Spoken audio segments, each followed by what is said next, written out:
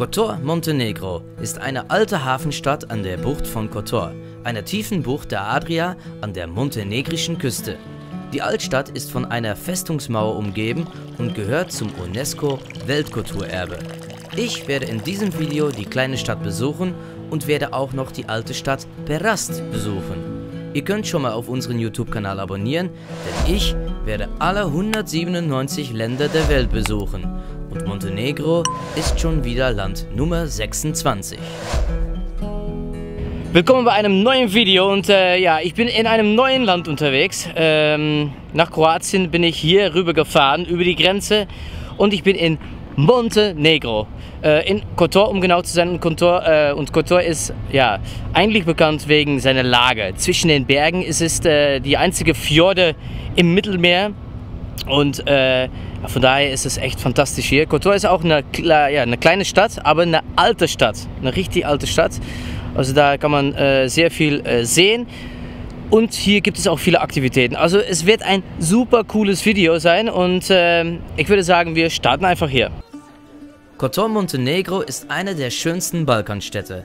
Auch wenn man weiß, dass man sich am Meer befindet, geben die hohen Berge das Gefühl, dass es sich um einen riesigen Bergsee handelt. Kotor wird nicht umsonst der Fjord am Mittelmeer genannt. Die hohen Berge umschließen die Bucht fast vollständig und nur die einfahrenden Kreuzfahrtschiffe verraten, dass es eine Ausfahrt gibt. Die Stadt ist eine der wichtigsten Touristenattraktionen Montenegros und wird jedes Jahr von mehr als 300.000 Touristen besucht.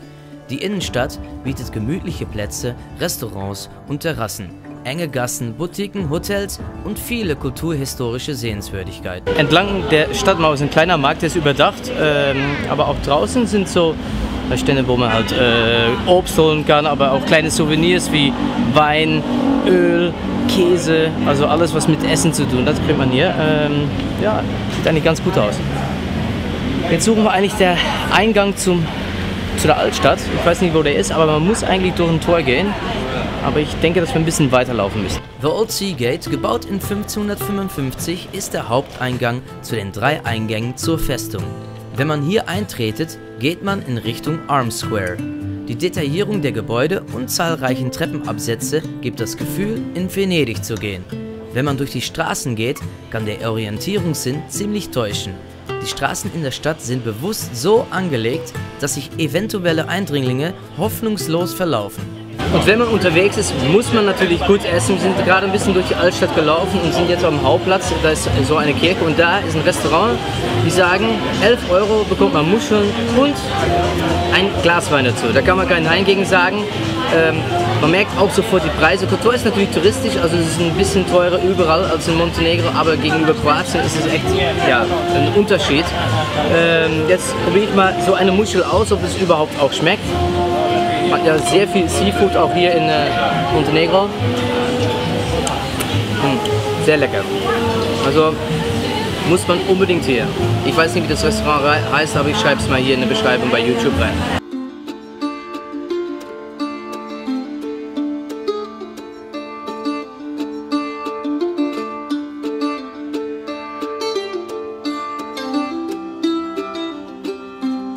Bin gerade hochgelaufen äh, auf der Stadtmauer von Kotor und gegenüber Debrovnik, wo es äh, 13 Euro kostet, ist es hier umsonst.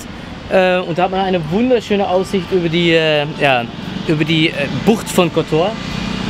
Und es ist gar nicht äh, weit laufen von der Altstadt aus. Es ist im Prinzip das letzte, die letzte Treppe hoch und dann ist man schon fast oben. Ja, ähm, jetzt geht's weiter, weil wir haben jetzt rechts von der Altstadt alles jetzt gesehen und äh, weiter geht's runter. Also die Altstadt ist echt so schmal, ganz schmal an einer ähm, an einem Berg entlang. Äh, aber es ist echt, echt eine große Stadt. Also von vorne äh, denkt man, es ist klein, aber äh, nee, es ist echt noch eine, eine, schöne Stadt, um zu besuchen. Also man hat hier, denke ich, schon einen Tag nötig, um alles gut zu sehen. Äh, auf jeden Fall relaxed zu sehen. In den Straßen findet man die Kathedrale Sveti Tripun aus dem 12. Jahrhundert und viele andere Kirchen wie die Sveta Anna, Sveta Maria und die Kirche Gospod Zadravia, die später im 15. Jahrhundert gebaut wurde. Hier findet man auch den Palast des Fürsten aus dem 17. Jahrhundert oder das nicht so alte Napoleon-Theater.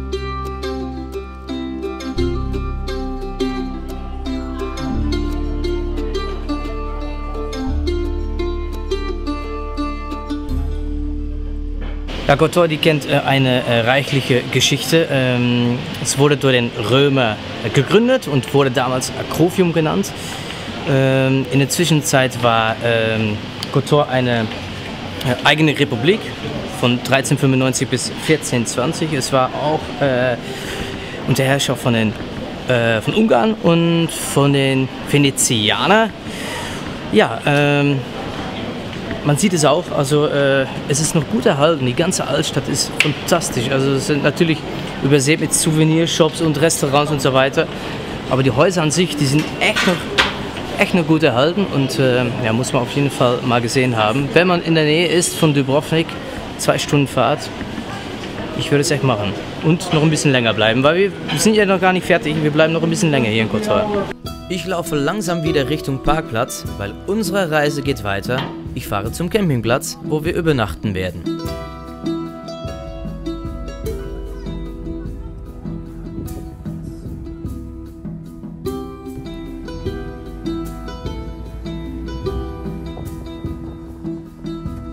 So, äh, ja, von Kotor bis hier zum Campingplatz fahren ähm, ist nicht einfach, muss man ein bisschen schon fahren können. Schmale Wege, die hier, äh, ja, wo man Autos auch Gegenverkehr hat und natürlich auch Reisebusse. Ähm, aber wir sind hier, ein schöner kleiner Campingplatz mit einem Restaurant dabei und äh, ich zeige euch mal, ja, also was hier gegenüber ist. Wir laufen vom Auto, Camper äh, quasi direkt nachts Wasser. Echt fantastisch.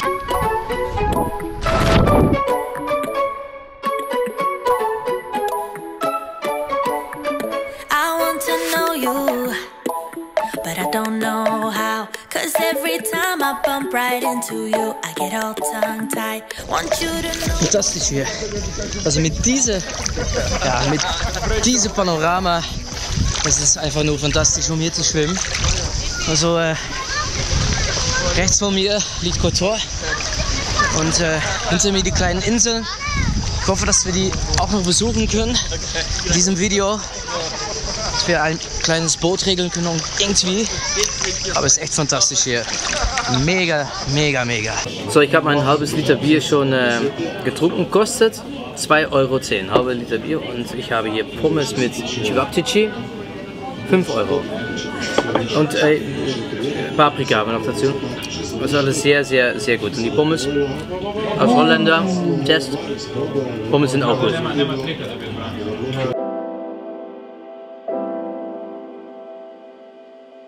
So, und weiter geht's in diesem Video, weil äh, ja, wir machen eine kleine Bootstour. Äh, es gibt ja zwei Inseln hier in der Bucht von Kotor und ähm, es gibt noch äh, ja, eine kleine Stadt, ein Dorf, was man besuchen muss. Äh, werde ich gleich sagen, welches äh, Dorf das genau ist.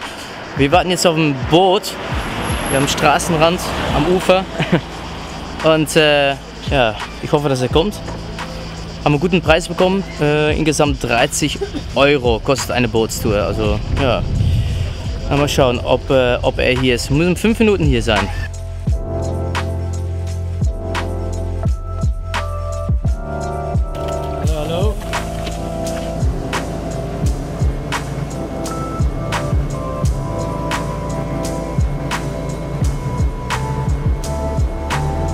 So, äh, ja, ich bin auf dem Boot, er ist rechtzeitig gekommen und jetzt sind wir die zwei Inseln hier, die gehen wir besuchen und dann gehen wir nach Perast. Äh, das ist ein kleines Dorf an der anderen Seite. Also es äh, ja.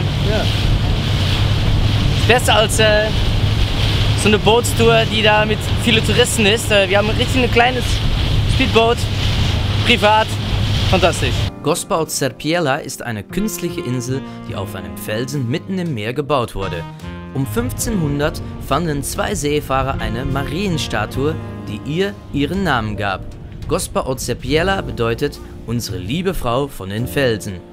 Die Insel wuchs weiter, weil die Einwohner von Perast immer wieder Steine auf den Felsen brachten. 1630 erhielt die Insel eine Kirche, Srpska Gospa od Serpiela. Inzwischen ist es eine Tradition geworden, Steine in kleinen Boote auf die Insel mitzubringen. Jedes Jahr am 22. Juli findet diese Tradition statt. Dieses Fest heißt Fascinada. An der Fascinada dürfen übrigens nur Männer teilnehmen.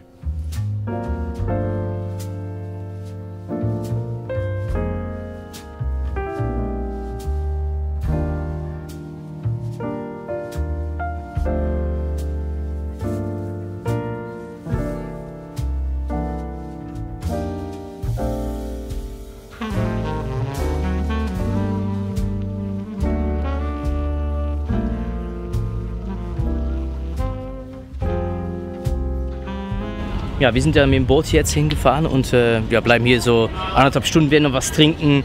Aber man kann es eigentlich in eine Stunde, anderthalb hat man diese Stadt gesehen. Und von hier aus kann man auch äh, übrigens auch kleine Boote äh, nehmen. Richtung die kleine Insel, die kosten dann 5 Euro, also nur die Tour zur kleinen Insel hin und zurück. Ähm, ja, also sehr übersichtlich hier und, äh, und schön vor allem. Ja, am Anfang hatte Peras gar keine Stadtmauer. Äh, die wurden erst im 15. und 16. Jahrhundert gebaut gegen die Osmanen. Und damals hatten die Venezianer äh, die Herrschaft. Die hatten die seit 1420 hier in Perast. Ja, und nach dem türkischen Krieg im 18. Jahrhundert ähm, ja, kannte Perast seine Blütezeit hier. Äh, viele, äh, viele Reedereien waren hier und äh, ja, die hatten natürlich viele Handelsschiffe. Und auf den Handelsschiffen waren Kapitäne und die äh, wählten Perast auch zu ihrem Alterssitz aus. Und äh, ja, die haben hier schöne große und kleine Villen gebaut und das prägt auch äh, das Bild der Stadt hier. Und äh, ja, das ist eigentlich ein bisschen die Geschichte von, äh, von Peras. Eine kleine Stadt und hat gar nicht mehr viel Einwohner. Ich glaube nur 370 Einwohner oder so. Naja, kann man in ein, zwei Stunden sehen. Und wir werden jetzt Richtung ja, unser Camping wieder gehen. Wir werden per Boot hier abgeholt.